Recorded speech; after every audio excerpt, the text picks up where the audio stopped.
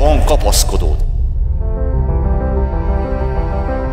Amikor az Isten a tíz parancsatot megálmodta és átadta az embernek, akkor egy útmutatót adott. Isten ezt szeretetből adta. Ez egy meder.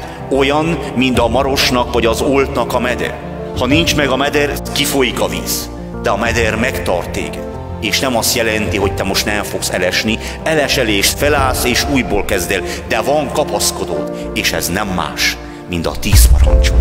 A mindennapi hűséges döntéseink a tíz parancsolat mentén, a nyolc boldogság mentén, hogyha megvannak, és ez szerint éljük az életünket, az apró kis döntésekből született csodák meghozzák az ő gyümölcsüket, testvéreim. Ha egy álló tóba beledobunk egy kis követ, lesz-e pár gyűrű, ugye? Körbe. De ha nagyobb követ dobunk bele, sok gyűrű lesz. Hát ilyenek a mi rossz cselekedeteink is, a mi bűneink is, hogy annaknak következménye van, de ilyenek a jó tetteink is.